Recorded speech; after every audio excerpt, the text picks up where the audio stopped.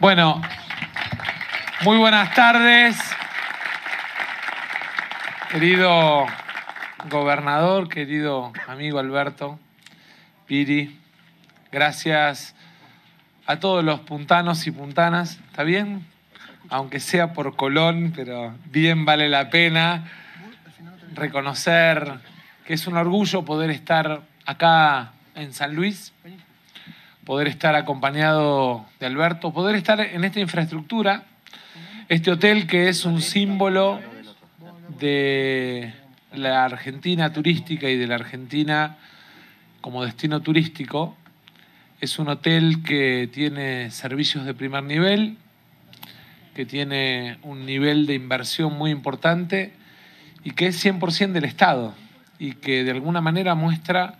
que se puede construir un Estado eficiente, no solamente un Estado presente, sino también un Estado eficiente. Y agradecerle, y da ganancia, y da ganancia. Y agradecerle mucho a Matías,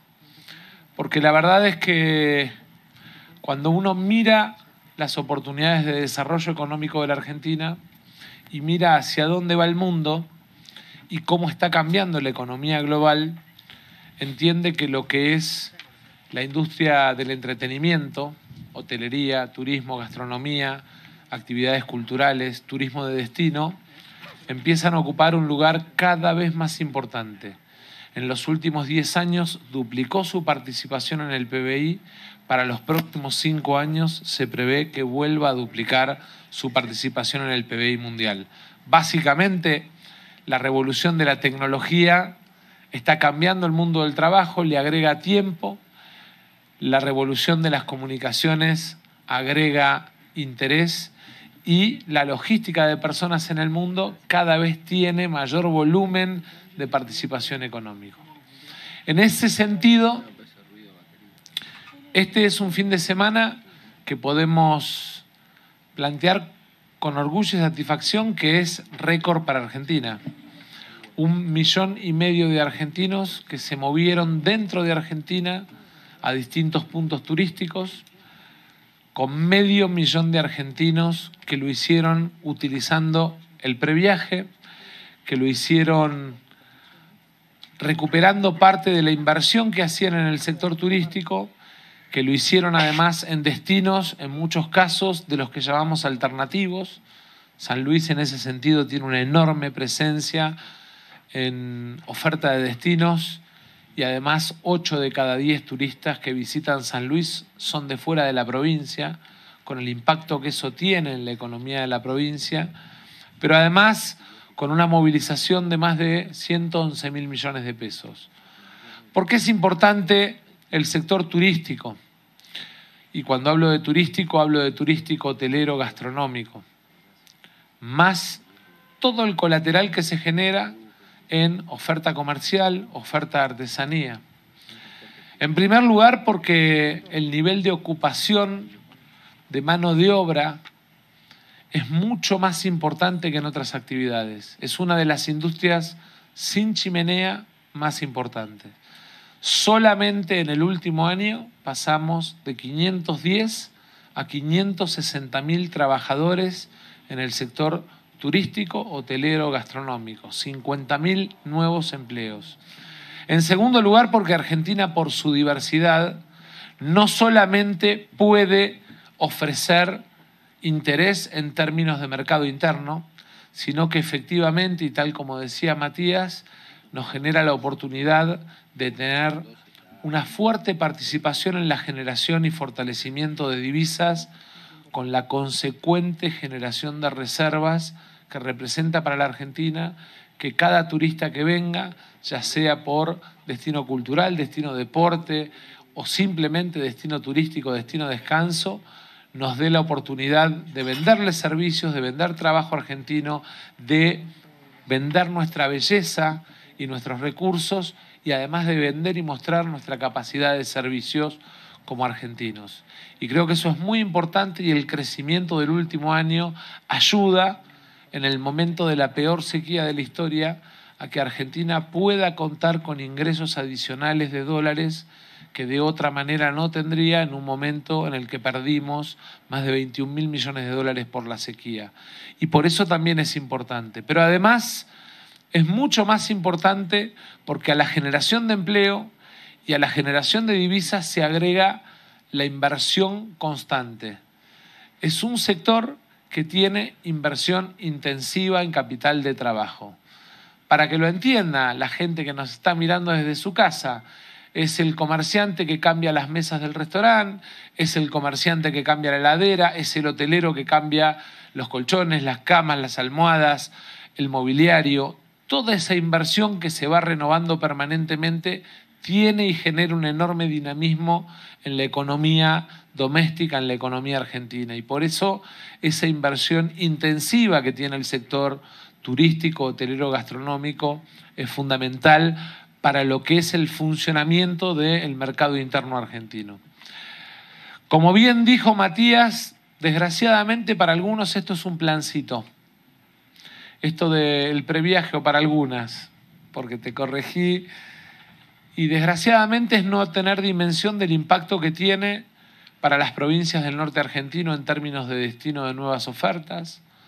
para las provincias de Cuyo en términos de oferta de la ruta del vino, para los argentinos, para la, Patagonia Argentina en términos de destinos consolidados como Calafate o nuevos destinos como pueden ser los antiguos,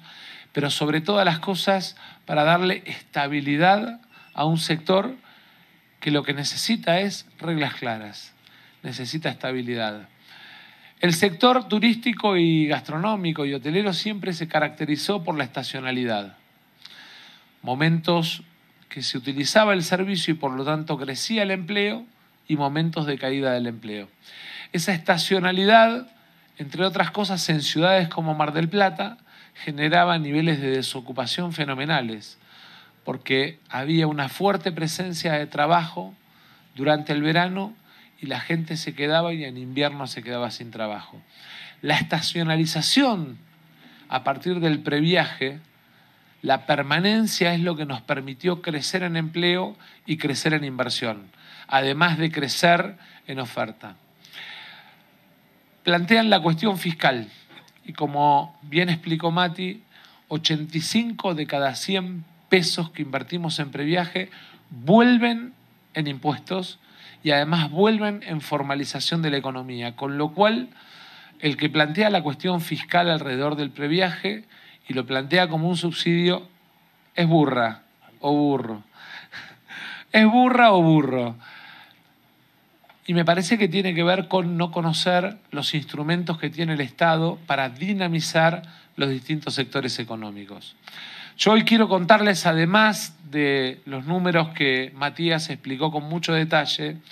que hemos tomado la decisión de enviar al Congreso una ley que tiene dos ejes centrales. El primero, para aumentar el volumen y la rapidez de inversión en el sector turístico, un conjunto de beneficios fiscales para todo lo que es inversión turística en la Argentina, turística, hotelera, gastronómica, con el objetivo de aumentar el volumen y la rotación de la inversión en el sector. Y segundo, y mucho más importante, hemos tomado la decisión de que la ley tenga al previaje como política de Estado, para que en la Argentina gobierne quien gobierne, esos siete millones y medio de argentinos que a lo largo de los últimos tres años utilizaron el previaje, que pudieron ayudarnos a formalizar la economía, que consumieron, que recorrieron nuestro país, que además nos dieron la oportunidad de tener nuevos establecimientos, de animar a sectores de distintas provincias a emprender alrededor de todo lo que es el turismo, la artesanía, la hotelería, la gastronomía, pueda seguir consolidándose. Pero además, para que en el 2024, gobierne quien gobierne, haya previaje 6, previaje 7, previaje 8, previaje 9 y previaje 10. Que no dependa solo de la voluntad de un ministro de Turismo o de un ministro de Economía, sino que sea parte de las políticas de la economía argentina para incentivar un, un sector generador de empleo. Obviamente, Estoy seguro que si Dios y los argentinos nos dan la oportunidad de gobernar, junto con la minería, con los hidrocarburos, el gas y el petróleo, con el agro como actor central de nuestras exportaciones y con la construcción como motor interno de generación de empleo y de generación de actividad, el turismo, con la hotelería, la gastronomía y las actividades que alrededor de él se construyen, va a ser una de las turbinas de nuestra economía. El mundo está cambiando a una velocidad increíble lo que es el mundo del trabajo. Le va agregando tiempo a cada ciudadano y ciudadana. El aumento de la expectativa de vida va agregando volumen de ciudadanos, de ciudadanas que tienen tiempo para el disfrute, para recorrer, para de alguna manera tratar de disfrutar alrededor de lo que es la actividad hotelera, turística, gastronómica y también la industria cultural. Y tenemos que tener nuestra economía y la cabeza preparada para ese mundo, para el mundo en el que a mayor cantidad de tiempo tengamos mayor cantidad de oferta como economía y como sociedad, para generar trabajo de calidad para nuestros hijos, para generar oportunidades en un país que por su federalismo y por su nivel de diversidad las bellezas tiene oferta múltiple y sobre todas las cosas para recibir bien, con calidad, con calidez a aquellos que desde otros rincones del mundo vienen y quieren venir a recorrer la Argentina. Gracias a todos los empresarios, comerciantes, gastronómicos, hoteleros, por el trabajo que hacen, por atender bien a quienes nos visitan y a quienes visitan la Argentina. Felicitaciones, Matías, porque Previaje va a dejar una huella y lo importante es que esa huella que se transformó en una política pública con resultado exitoso, se transforme además en una política de Estado en la Argentina para que no dependa de la locura o del capricho de alguien que desconoce la importancia del sector a la hora de generar empleo, de generar inversión y de consolidar el mercado interno de la Argentina. Y gracias, Alberto, por abrirnos la puerta de, de esta casa maravillosa que han construido y decirte que contamos con vos y con tu trabajo para la etapa que viene en la Argentina. Muchas gracias.